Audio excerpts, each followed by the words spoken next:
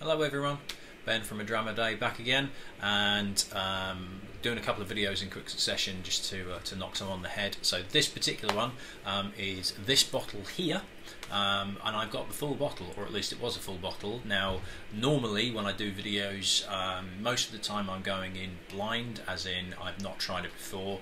Uh, as you can tell, I have had some of this. Now, I have actually given quite a lot of this away as samples as well, so I've had some of this before, but not a great deal. As you can tell by quite a few of the bottles behind me, although they're part of my work, I've got a lot of bottles that are open don't have much out of it because I try it and then I move on to the next one. So I have started recently um, sending people little samples for them to try as well and kind of doing sample swaps to go in the uh, the pile for newer Dram A Day videos. Um, but this is actually one of mine uh, that I bought when I was on holiday in Florida two years ago now, uh, I actually picked this bottle up. Um, so it's the St Augustine Distillery. Um, quite looking forward to uh, sharing this with uh, you watching. Um, so before I actually crack it open and have a dram myself, and I nearly broke the bottle with uh, my wedding ring, um, let's find out a little bit more about the distillery itself.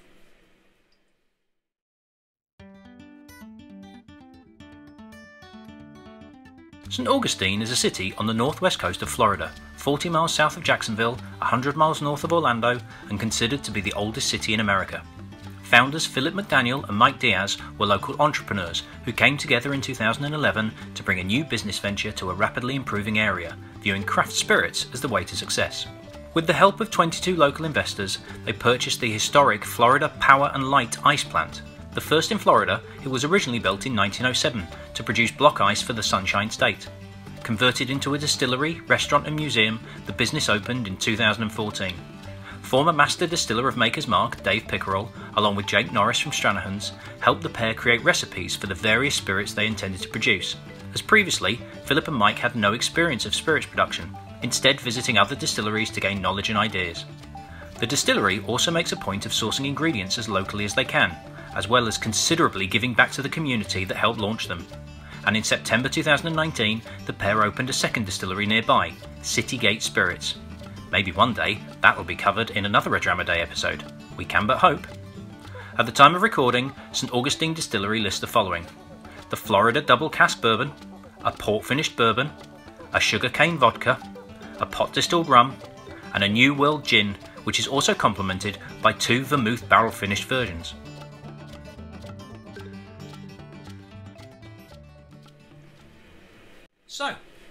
Let's go on to tasting the dram itself. Um, so, as I say, I have had this before. It's been a good while, probably about six months since I did try this. So, I've got my jigger to hand ready. So, let's get some in here.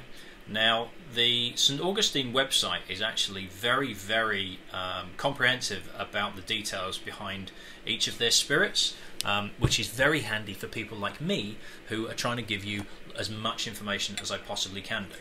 So I've got this typed out on my phone because it's pretty complex. They do go into quite a lot of detail as well. So this, which is the Florida Double Cask Bourbon, and hopefully you'll see that on there. So this is 60% regional corn, 22% malted barley, 18% regional wheat.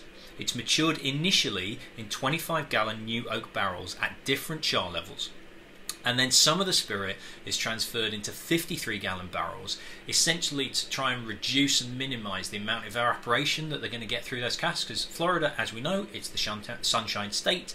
It would be my second home. I go out there every year. It's a pretty hot climate. So they are losing a lot through evaporation. So they're actually transferring it into bigger barrels to try and actually minimize the contact of liquid within wood, so there's a bit more space in there to try and minimize evaporation. How successful that is is difficult to say. It gets a bit technical in terms of evaporation, surface, level, all of this lot, but that's what they are doing. Um, it's a combination of barrels ranging from, now on the website it says 16 to 28 months. Um, however, you might be able to see, I'm hoping that it's going to be able to pick it up, is that actually says on that label aged two years. Now, on the website, they make a point of saying that their label will show the minimum age of the casks that are in there. So it says aged two years, so it should theoretically be a minimum of 24 months in a cask. Uh, whether that is actually the case or not, I don't know. Um, anyway, so to um, add some complexity as well, 7% of the spirit they use is also finished in port pipes. So this is not the same as the port finish bourbon. That is a completely different release, and I would really, really like to try it. Just sadly, I think it's only available at the distillery itself, and I've not had the opportunity to get up to the distillery in person. Now, I do go out to Orlando every single year.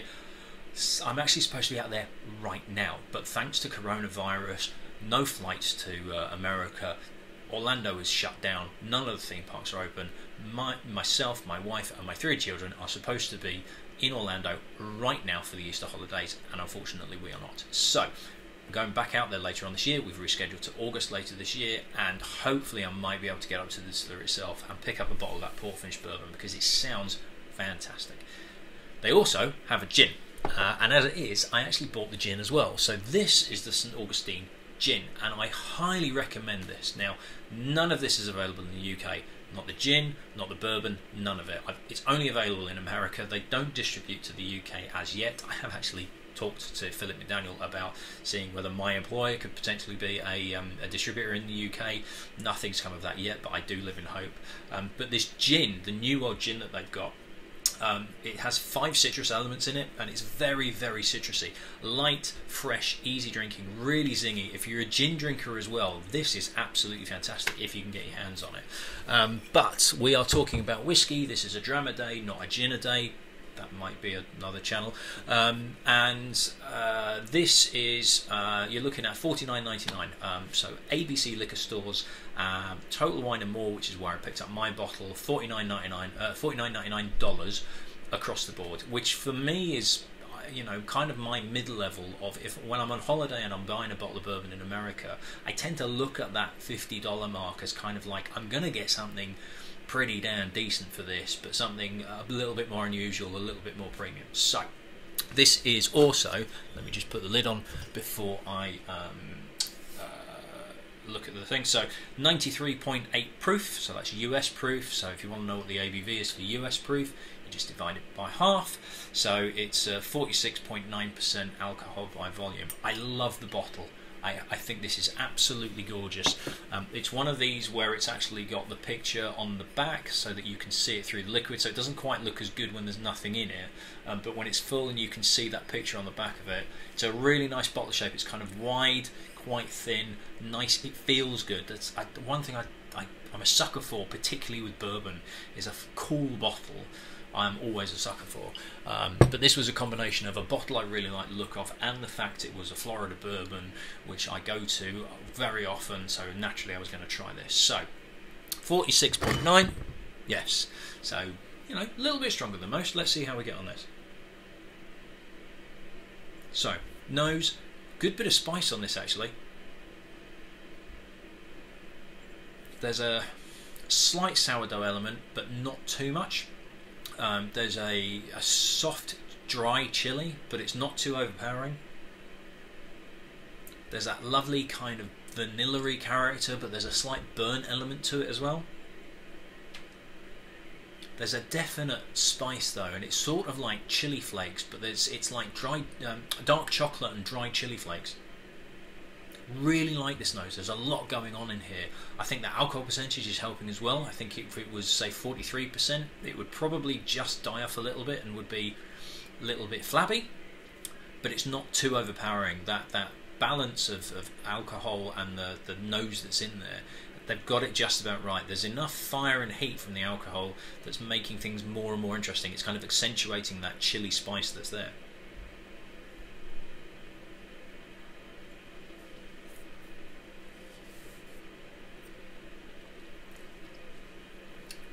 And that chili flakes comes through as well. Dark chocolate, you're talking 80 90% cocoa dark chocolate on this. There's a nice earthiness to it, and it's that earthiness of really high cocoa. But the chili is there. Now, some bourbons, and if you've watched a lot of my other videos where I've talked about bourbons, I tend to err on the sweeter, softer side. Ones where they're really spicy, really kind of dry, almost sour, are ones that sort of turn me off a bit. And this is getting there, but it's still not quite dry enough to turn me off. I love the complexity on this. I love that dark chocolate element. I really like that kind of dried chili flakes, There's there's cinnamon, but there is a bit of soft sweet spice as well. There's kind of nutmeg in there as well. Good Christmassy type whiskey. The finish lingers. The heat is there from the alcohol, but it's not overpowering, and it does ease away relatively quickly. It's not a massively long finish, but it is decent.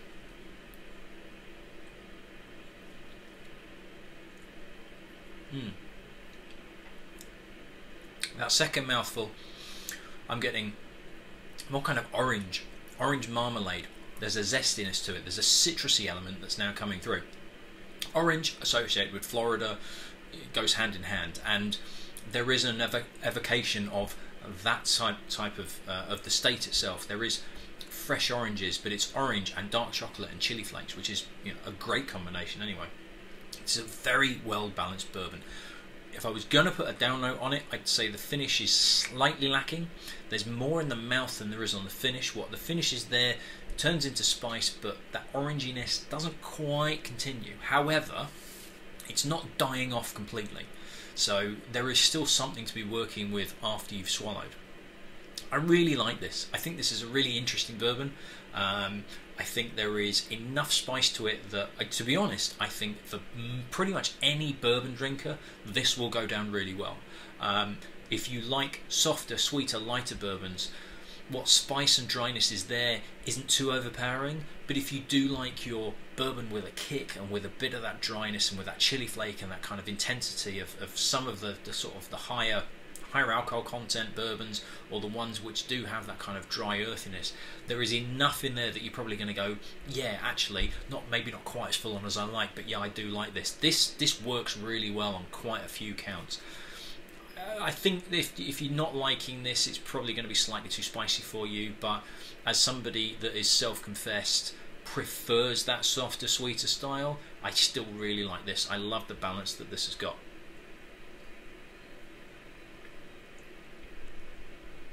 I wouldn't put water with it. I think the ABV is probably about bang on.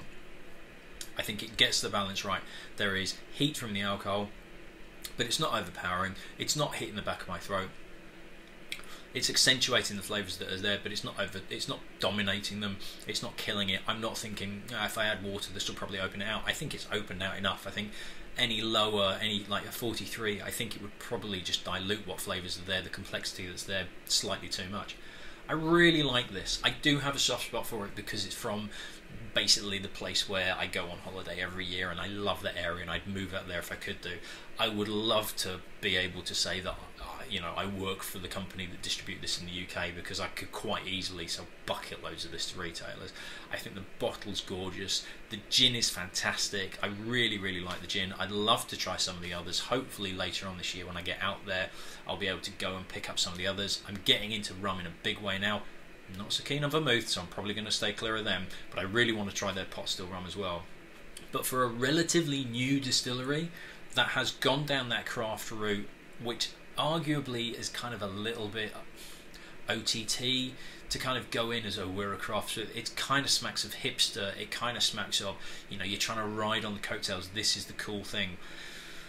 But the proof of the pudding is in the eating or the drinking in this case, and actually the spirit of this is really good. And having had the gin as well, which was also really good, it makes me confident that everything that they're doing at the moment is actually of high quality. I'm intrigued to know what Citygate is like because having done a bit of reading up on it, St Augustine is the premium end, and Citygate is going in for a little bit of a kind of entry level price point uh, and style. They've got a lot more kind of flavoured whiskies, which I'm not a big fan of. However, when I'm out there, I am going to try and find if they do have a straight bourbon, single malt whiskey, anything like that that's not a flavoured one. I really would be interested to see what it's like compared to this. So I shall be saving what I have left of this just to do a comparison when I get around to doing that, if I get around to doing that. But all in all, if you're looking for a good quality bourbon that's not going to break the bank, that's a little bit interesting, that's got complexity, and is is kind of you know going to suit pretty much any bourbon drinker's palate. I don't really think you can go much wrong with this. Uh, I do like it a lot, so very impressed. 378 is done. I wish you all the best. Stay safe, keep well, and I shall see you at the next one. Cheers.